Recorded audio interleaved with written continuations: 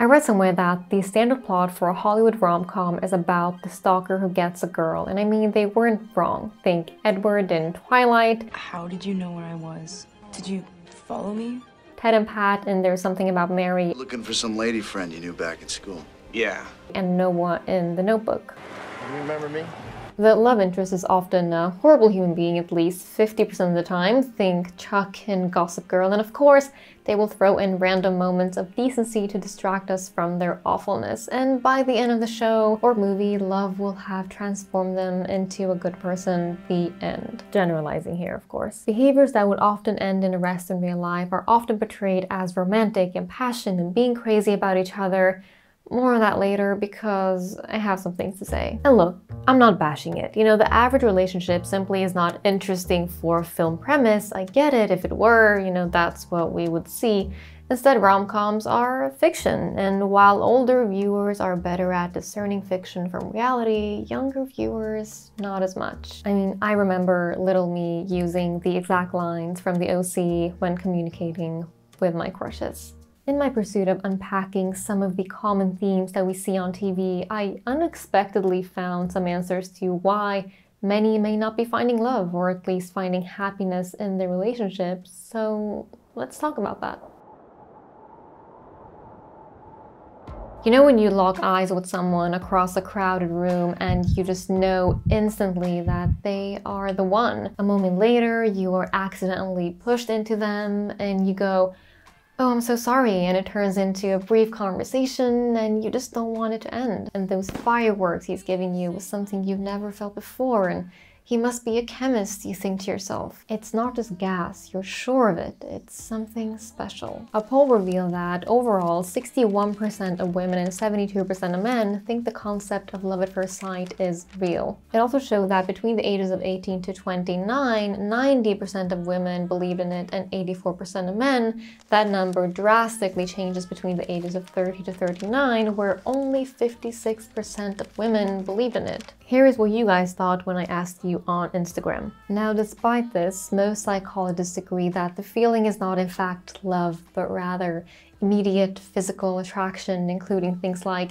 the way this person looks at you, and the sound of their voice. In one study, strangers were more likely to report experiencing love at first sight with physically attractive people. In fact, one rating higher in attractiveness on the scale that the researchers used corresponded with a nine times greater likelihood that other would report that electric love at first sight feeling. It's a physical sexual high, a dopamine and serotonin explosion, making your brain look like that of someone who is high on heroin. So really another word for it could be lust at first sight or infatuation, which can be described as a strong feeling of attraction, fascination, and fixation towards someone, often without really knowing them very well. Although it often seems very intense, infatuation tends to be based more on physical attraction and an imagined fantasy about this person and who they are. It can also involve rejecting information that goes against this fantasy, such as ignoring red flags or early signs of incompatibility. Now, why is this worth bringing up? because we often get swept away by this idea that if it's not love at first sight, then it's not love. And so, you know, we may be dismissing any potential love interest that doesn't give us that feeling, even though those initial fireworks say nothing about whether or not we will be compatible with that person. And while love at first sight can lead to something long-lasting, the odds are apparently against it. Why? Because that physical sexual high are things that change as time goes by and because that initial spark often makes it feels like all the other pieces will easily fall into place, when in reality it takes a whole lot more than a tickly feeling in your body to make a relationship work. And now you may be thinking, but I know of people who swear that it was love at first sight, and I've even experienced it myself. And absolutely, that can be true, but studies show that love at first sight is often not reciprocal, and we may remember it in a way that wasn't exactly true. It may be that only one party felt the spark and jump-started the relationship, and then as time passed, mutual love grew.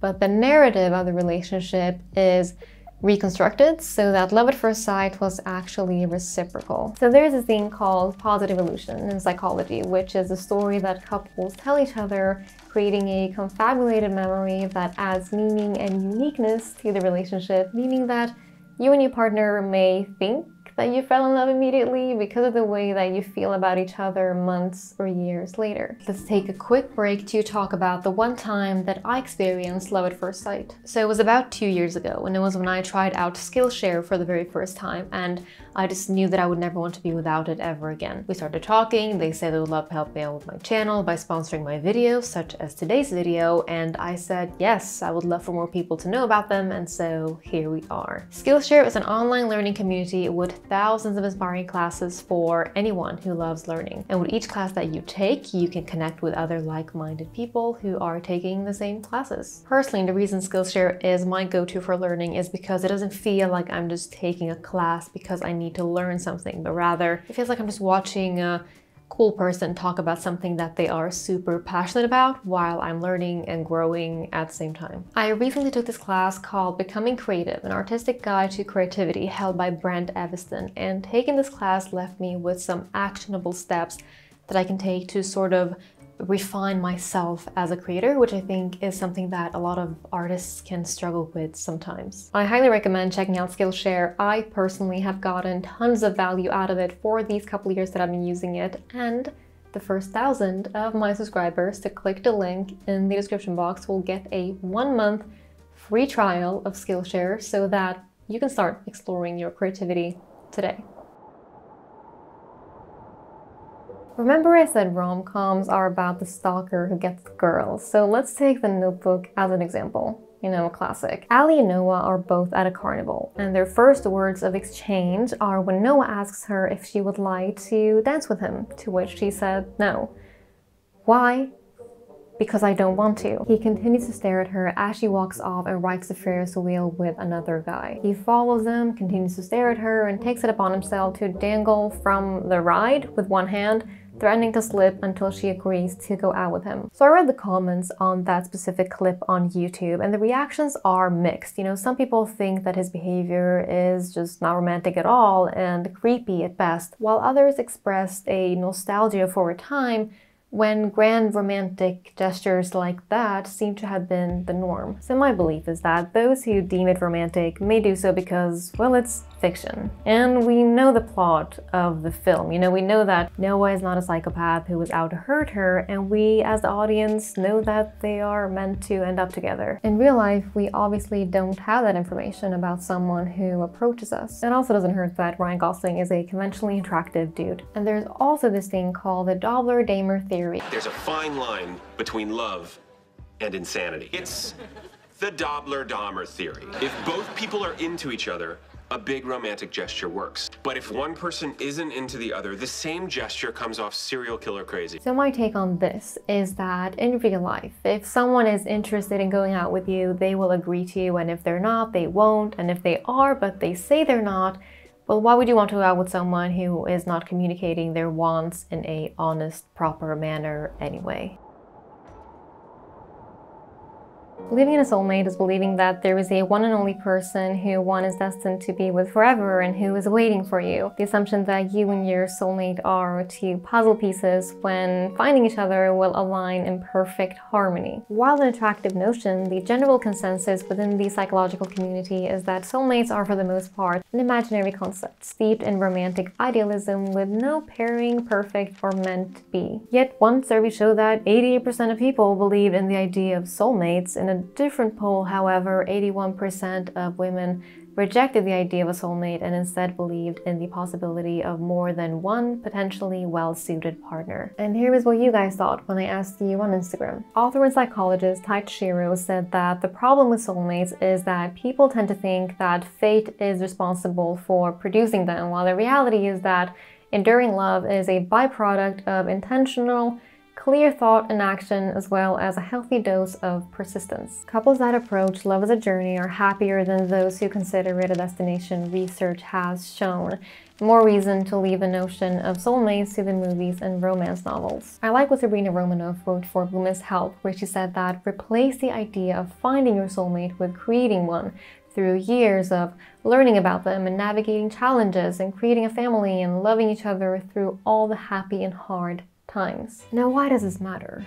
Well, for a variety of reasons. So, for one, psychologists have found two scales that influence how we start and maintain relationships. One that measures how much we value first impressions and early signs of compatibility, and one that measures how likely we are to work through problems in relationships. Soulmate believers may feel very intensely and passionately about a partner at first but as soon as problems inevitably arise, they are convinced it's because they're not meant to be and that person is not their true match because the true match would be perfectly compatible. They're also more likely to, for example, abandon or ghost a partner because they believe that you either click with someone or you don't and you should just move on. So what you may get as a result are intense but short-lived relationships. On the other hand, people who believe in relationship growth are more willing to work and grow with their partner and to tackle conflicts as they arise, though they may not feel as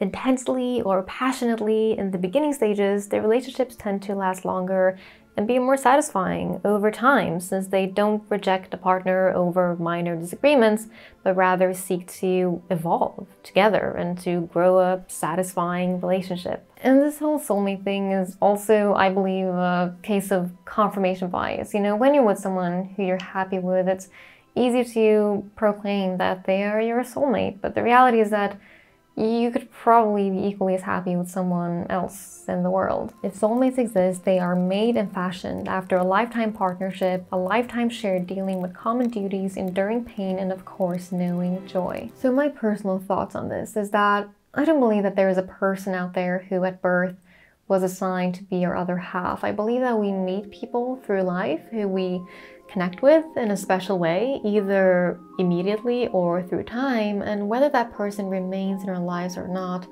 they'll always have played an important role in it, in shaping who we are. It doesn't need to be romantic either, it could be platonic, so I don't know, you know, perhaps there are several or several soulmates. In film, doing everything for a person is romanticized, even if you've known each other for like no time at all. Like, did you know that Romeo and Juliet knew each other for four days? From the time they met to the time of their tragic ends. In fact, Romeo and Juliet is a perfect example of the all consuming type of love that we often see. You know, somehow the more struggles and fighting and back and forth that you go, and the more intense the makeup is in between all the fire, the more passionate the couple and the more we melt, you know, watching them being crazy about each other. The Notebook, again, is a great example of this, where Noah and Allie would constantly be fighting pretty brutally, yet they always made up and found a way back to each other. Except for one time, when they broke up and they were apart for a year, and Allie was with someone else who she cheated on to be with Noah, and somehow we're supposed to be rooting for them still. Again, for entertainment purposes, which is the purpose, it's great. And I would watch it again, you know, and obviously the ending is very heartwarming where Noah ends up taking care of Allie as they grow old together. What are your thoughts on all of this?